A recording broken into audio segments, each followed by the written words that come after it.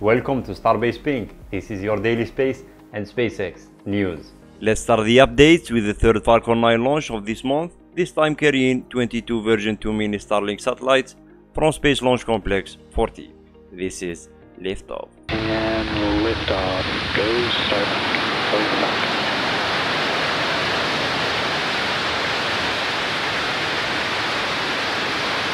Vehicle is pitching down range. Stage separation and second stage Merlin 1D vacuum engine ignition. And we have fairing separation. Falcon 9's first stage landing on Just Read the Instructions drone ship for the sixth time. It was the 16th launch and landing for booster 1058, marking a new record. Great job by SpaceX team.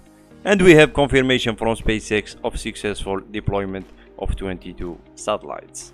Elon shared this picture captured under ship 25. Enjoy watching the hydraulic power unit for the last time because we won't see this one in future ships. He said three more engines for the meaning of life. He's talking about what he talked about last year, adding three more Raptor vacuum engines. This is still on the table, they didn't close the case yet. Elon added that inner engine gimbal angle is limited in some directions due to impacting outer engine nozzle, but probably okay. At Starbase orbital launch site, preparation for the next Starship launch, not just at the bottom but at the top too. SpaceX team working on the ship quick disconnect arm. This footage was captured from LabPadre's Rover 2.0 camera.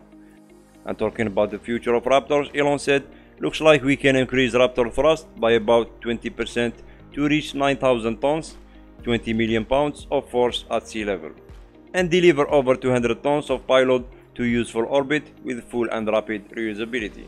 50 rockets flying every 3 days on average enables over a megaton of payload to orbit per year, enough to build a self-sustaining city on Mars. Not related to space news, I'm not uploading daily because of the bad upload speed. Trying my best to go back to the daily updates. Thank you for all the support. The good thing is here where I live, we have a nice and beautiful weather tomorrow morning with rain afternoon. That's it for now. This is the end of this episode. See you tomorrow.